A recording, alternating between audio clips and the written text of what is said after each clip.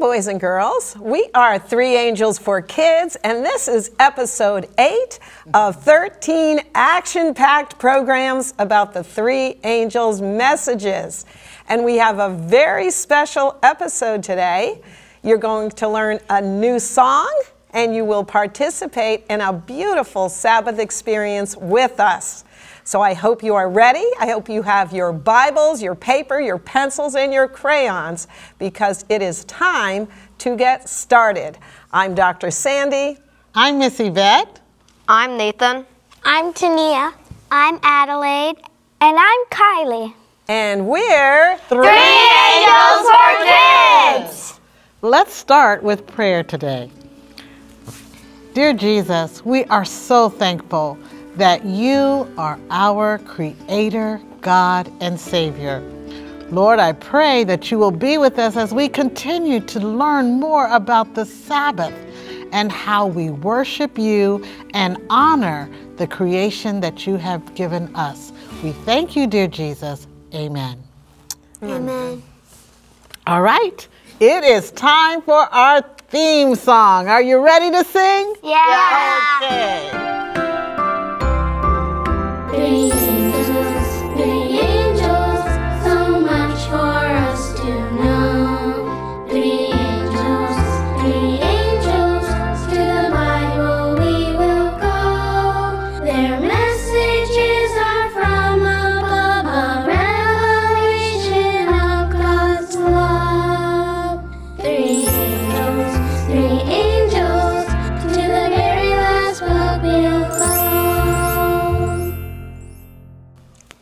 boys and girls. Let's show the boys and girls at home the pictures you made of the dolphins.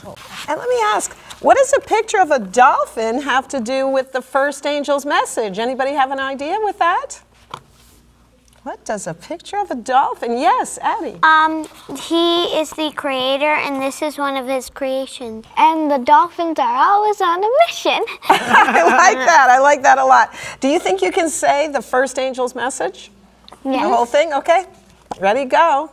Fear God and give him glory, for the hour of his judgment is come. Beautiful, beautiful. Well, we're going to find out that the first angel's message ties into another text in the Bible. So let's have them turn to that. That's right. I'd like everyone take your Bibles and turn to Exodus. Exodus chapter 20, verses 8 through 10. Exodus chapter 20, verses 8 through 10. And today I would like Nathan to read that for us. Would you do that for us, Nathan? Yes. Thank you. Remember to keep the Sabbath as a holy day. You may work and get everything done during six days each week. Hmm. But the seventh day is a day of rest to honor the Lord your God. On that day, no one may do any work, not you, your son or daughter, or your men or women slaves. Neither your animals nor the foreigners living in your cities may work. Hmm. Did you notice that there's a connection between the first angel's message and the Sabbath commandment? Did you notice that? You noticed it, Kylie? What did you notice? That it talks about the creation at the end of the first angel, and it talks about it in the commandment. Yes, It's, it's in creation. I The mean. same wording. So that's how we know that the first angel is calling us back to worship God on the rightful Sabbath day, the seventh day, because it's the same language. Good catch, good catch. Well, you know, sometimes we've been talking about going outside and enjoying nature on the Sabbath, but what if it's raining?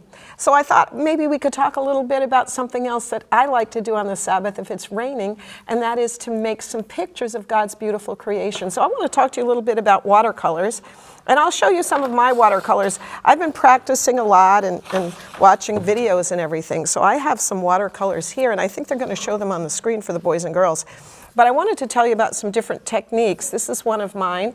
But if you look really closely on there, some of that I made with salt. If you put salt on watercolor, you can get a special effect.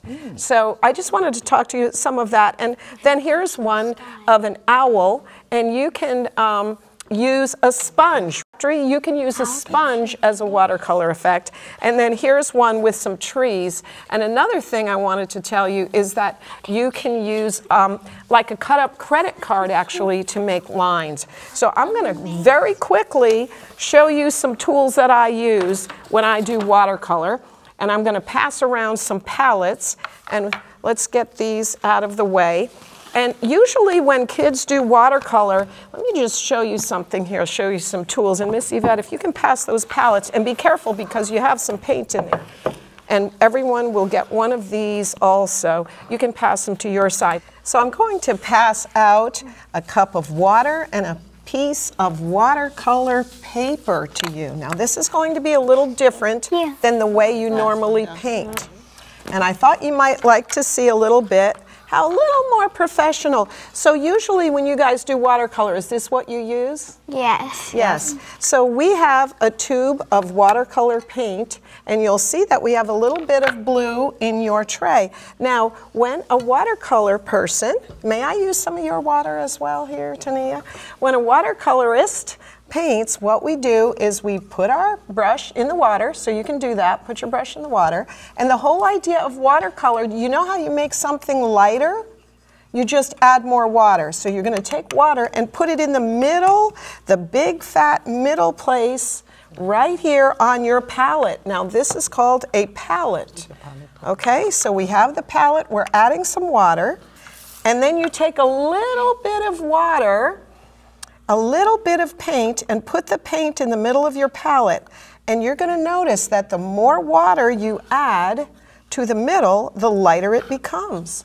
So what I want you to do is, this is nice watercolor paper, nice thick paper. You'll see this is a little different maybe than the kind you use. And I want you to practice on your paper and see if you can take, sometimes put more water and sometimes put more paint. And see if you can make it dark, partly dark, and then add water and pull some of that paint so then it starts to get lighter. And that's how you do watercolor. See? how it starts out dark and you add a lot of paint. You see, you add paint and then pull, get some more water, Tania, now. Add some water to it, and that's how we do it. Take a look, take a look, Addie, at my paper. You see how it gets lighter? So I thought you guys would like to practice that, and I'm going to tell you a little bit about some different watercolor tools and techniques you can use. So sometime on a Sabbath afternoon, you can make some beautiful pictures and you can kind of play with watercolor. Now let me show you some more of my tools. You see this sponge? Remember I said I live next to the sponge capital of the world? Well, what you can do is take a sponge and put it in the watercolor and sponge on here. That gives a different effect. Or you can take a straw and, and you can put some water and then blow and it'll make a pattern. Mm. Or you could even cut up a credit card and pull that through the paint and it will make a line. Or you can take a stick and you can make some patterns in the paint with a stick. You can make it look more like a tree. So, and I wanted to show you another technique that I think you might enjoy too. Just take some water, put it down, wet the paper first a little bit, and then put your paint on it. But it looks like we're running out of time. But you'll see that that makes the paint spread all around. So mm-hmm. have fun with that. Practice, and on the Sabbath, remember that God is your creator. And we're going to talk a little bit now about opening and closing the Sabbath. Let's take a look at our video now. What do we mean by opening and closing the Sabbath? The Bible tells us that the Sabbath goes from sundown on a Friday night to sundown on a Saturday night. So, how do we open the Sabbath? On Friday evening, it's good to do something we look forward to. Some people like to have a special meal and light candles. That wonderful glow of opening the Sabbath is kind of like having Christmas once a week. There's something so nice about lighting a candle to bring in the Sabbath and focus our minds on Jesus. You know, it's good to pray together as a family, get together with friends, sing together, read the Bible together. And Friday night is also a good time to maybe plan what you'd like to do the next day on the Sabbath in the afternoon. It's just a time to thank God for the blessings of the week and to invite Him to be very close to us on the Sabbath hours. And once we've opened the Sabbath, we have a whole day to enjoy God's blessings. Then, on Sabbath evening, just around sunset, it's time to close the Sabbath. I'd like to invite you now to come with me on a Sabbath evening in Florida as my husband and I visit a spot near our home to close the Sabbath. Meet my friend, the great blue heron. He likes to come out late in the afternoon here in the little Greek fishing village of Tarpon Springs, Florida. I especially like to visit him in his habitat here in the Gulf as the sun is slowly going down on a Sabbath evening. The Sabbath is a time to stop what we're doing, forget about all our problems and worries, and just soak in the goodness of God's world. On Sabbath evening, right before the sun goes down, find a quiet spot to enjoy the last few moments of God's special day before another busy week begins. Then say a prayer and thank God for all He has given you. Then ask Him to bless you in the coming week and keep you close to Him. Never forget to keep the seventh day holy. The Sabbath is an island in time that keeps us centered in Jesus. Praise God for the Sabbath. All right, we're looking forward to continuing our Sabbath celebration. But first, there's some other things I would like to review about the Sabbath. If you could please take your journals, take your journals, and we're going to cover the five points for opening and closing the Sabbath. All right, remember you're writing on the left hand side. And at the top of the page, I want you to write open and close Sabbath. Open and close Sabbath. That's at the top of the page. All right, and now we're going to start with number one. Number one is sunset to sunset. Because Sabbath starts sunset Friday night and it ends sunset Saturday night. Sunset to sunset. Excellent. Number two starts Friday night. That's a reminder for us. It starts Friday night. And then you might wonder, hmm, how long does the Sabbath continue? How long is the Sabbath? Number three, if it's from sunset Friday night to sunset Saturday night, that's 24 hours. So I want you to write 24 hours for number three. Number four, when does it close? Closes Saturday night. I know this is some repetition, but you know that helps us to remember. That's right. Repetition helps us to remember. Closes Saturday night. That's number four. And then, of course, you know we're learning about the three what? Angels. So this is something the first angel tells us. So write first angel for number five. Great job. Great job, boys and girls. Excellent. I hope you boys and girls at home were able to get that information also. All right. I'm not sure we have time for our quiz. We Oh, have to we might not have- oh, drawing. oh, we- oh, So let's let's draw our great blue heron now. You saw the great blue heron that lives near my house, and I'm giving you a clue. It's starting out with an ellipse. So as soon as it turns on, you need to have your heron's head drawn. Okay. Here we go. And boys and girls at home, don't get frustrated. You can practice these at home as well. You can always um, find out how to get there by going to our website, and you can practice at home over and over as many times as you as you wish. So, yeah, it's a little tricky there, but we made the head with the ellipse, the beak is a triangle, and now we're making this kind of a curvy line and then back down to get the body. I don't know if any of you have ever seen a great blue heron, but have you? Tania, you have? Yeah. Yeah. I've seen a great blue heron in Mexico. Oh, in Mexico. Okay. And you notice when you draw, it's just basic shapes. See, the, the tail starts just as another ellipse. Once you have that oval shape down, there's so much you can make because then you can go back in and erase the parts that overlap. So I think you'll get it. And as you draw, again, we want you to remember that God is an amazing creator. The first angel tells us to worship God because he is the creator of everything the heavens, the earth, the seas, and the springs of water.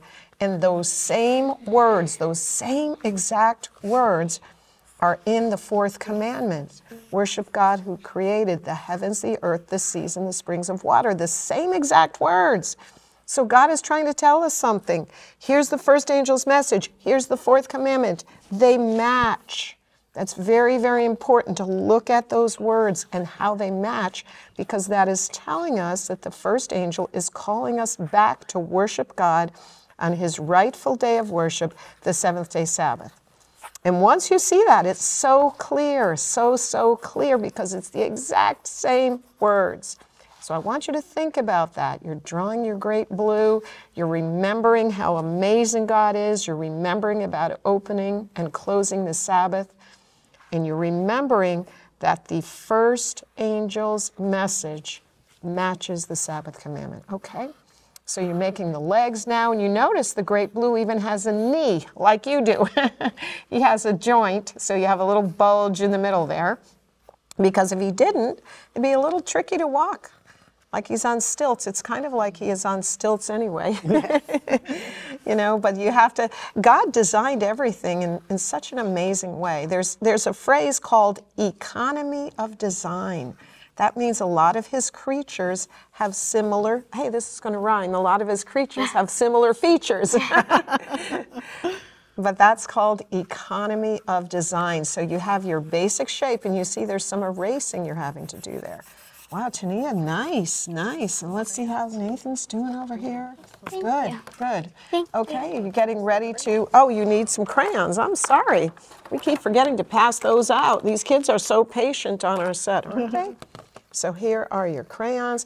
And again, don't get frustrated if you're not keeping up. You can always practice later. And our boys and girls here, they don't always finish. They do the best they can. Uh, and again, you can use markers, you can use colored pencils, you can use crayons, whatever you like, but you're going to try to give this a little bit of a three-dimensional look. All right, and you know, you remember how you give it a three-dimensional look? Some parts are darker and some parts are lighter. So now we're drawing in a few of the little feathers on the bottom here. So go ahead and draw in some feathers, bigger part on the wing because the feathers aren't always the same size. Now we're coloring in it's called the Great Blue, so it's, it's mm-hmm. kind of a light gray and it has some blue markings to it. Coloring in the legs now. That's an important thing with birds too. You can tell the kind of bird by the color of their legs. There are some birds that are similar, but they might have, one has an orange leg, legs, and one has yellow legs. And also the males and females are sometimes very different with the birds. I was trying to learn different kinds of birds, and there's so much to learn, and I was so happy I thought I was learning it. Mm-hmm. And then I found out, oh, the males and females look totally different in some of the birds. And then I found out that the young look different than the mature birds. That's right. So I thought, oh, I thought I knew what, you know, some of these beach, I was, I was going to the beach with a, a bird book. And I said, wait a minute, I can't find, you know, this particular bird. And then I found out that it um, was different when it was young. Okay, that's it for the drawing today. You have a special announcement. I'm so excited. Yes. Yay. We've talked a lot about God, our Creator, and how we honor Him by opening and closing the Sabbath. We're going to continue the celebration we started yesterday. So, yes. So, I'm going to go set up the classroom and I'll be right back. Boys and girls, we've been talking about the Sabbath and how special it is that God gave us the Sabbath at the end of creation. Before we start our Sabbath celebration, I'm going to ask Addie, would you pray for us, Addie? Mm-hmm. Thank you. Dear Father, thank you that we get to be here for the Sabbath celebration. Thank you that all of us are here and ready today to make you happy. And um, we love you. Amen. Amen. Thank you so much, Addie. We're happy. I like that because the Sabbath is a very special day, and that's why we call this a Sabbath celebration. When we learned about the Sabbath, remember we talked about it was like the culmination or the end of God's creation week, correct? So before we actually get into reviewing the Sabbath, let's go over God's creation. All right? Now, here we have our candles. And the first candle represents God in the center and the first day of creation. What did God create on the first day? He created the light. Light. That's correct. God created light. Then on the second day, what did God create? He created the um, atmosphere, the clouds, the air. Correct. The air, the atmosphere, clouds, our sky. Beautiful. All right. What did God create on the third day? He created mm. dry land with vegetation, trees, and all kind of plants. Beautiful. All kinds of plants, and trees, and flowers. And when we look around, we see such a variety of flowers. So we had lots of color on the earth too, didn't we? Right. All right. On the fourth day, what did God create on the fourth day? Fourth day, what did God? The sun, moon, and stars. The sun, moon, and stars. And so we're still, it's pretty quiet on the earth, right?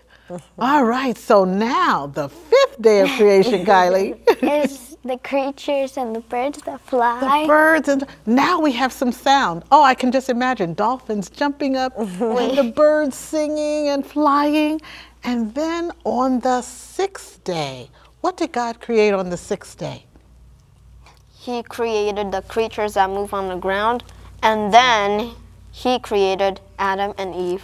Correct so now we have all kinds of animals on our earth lots of noises and sounds beautiful and adam and eve now you notice we have two candles left and we have one day left.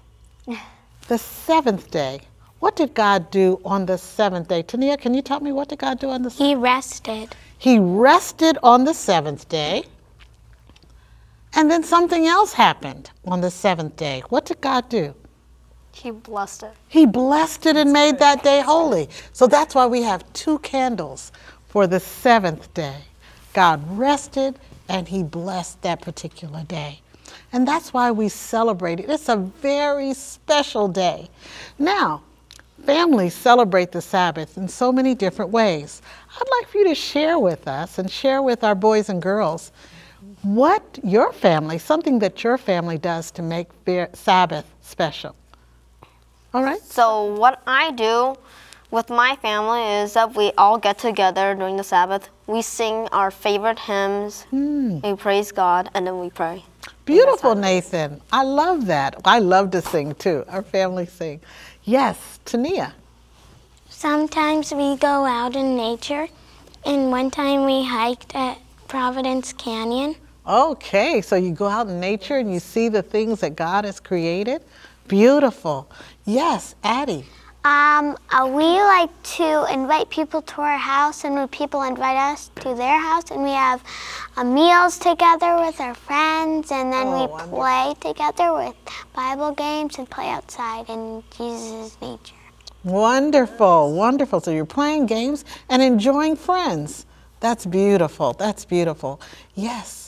Well, what our family likes to do, we like to go to Miss Teeny's, Pastor Finley's retreat center All and right, ding on their bell, and we like to play Go Ye with them. It's like to tell everybody the good news, and then the end comes. All right. So Go Ye is um, a, a Bible game. It Yes. talks about spreading God's message. Beautiful. I don't know. Dr. Sandy, would you like to share something that your family does on the Sabbath? Oh, wow. Well, I've been married to a pastor for 41 years. So I go to church and then I go to church and then we go to church some more. Sometimes we have more than one church, but uh, it is a nice time to fellowship with fellow believers that Yes. believe the same way and that hold up your faith, you know? Yes. What about you? You know, one of the things I want to mention because we learned that Sabbath starts when? Friday night, right? Mm-hmm. Right. So I would like to mention something that we might do to even open the Sabbath or a special meal. Mm. Sometimes people eat the same thing every Friday because that's a special day. Ah. So our family, um, we would have Mexican food on Friday. so as my daughter was growing up and everything, that was what we had every That Friday. because yes, because her grandmother, my mother-in-law, is from Mexico. Yes, so we would have Mexican food on Friday. All right, wonderful. So now let's quickly, we're going to talk about why this, what we're going to do to make this extra special today. You will notice that you have some juice and you have a muffin. Do you know why? Because the Sabbath is the sweetest day of the week. So this represents the sweetness of the Sabbath. All right, so before we enjoy that, we're going to sing our song. We're going to sing a song about Sabbath. Are you ready? Yes. God rested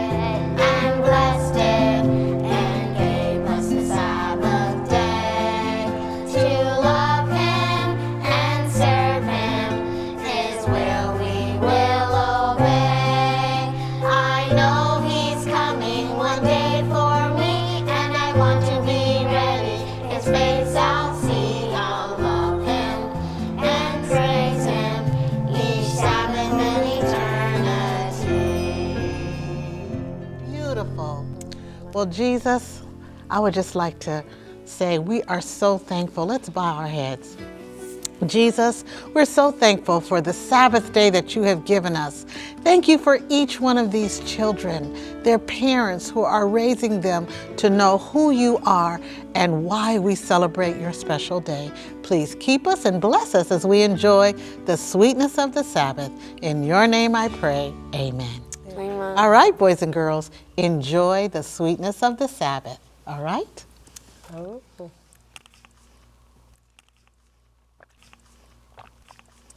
Mmm, that apple juice is good. Yes. Hmm. And remember, we have a muffin. Remember how that represented that Jesus is the bread of life? Right. Remember we talked about that earlier? So enjoy your muffin also. Boys and girls, we've come to the end of our episode. Hasn't this been wonderful? Yes. Going Yes. over God's creation and reviewing the Sabbath and seeing how special it is. Boys and girls at home, next week, next Friday, you and your family may decide on something special you can do to recognize God's creation and to bring in or open the Sabbath. Well, we've come to the end of our episode. Are we ready to say goodbye to everyone? All right. Bye. We'll see you next time.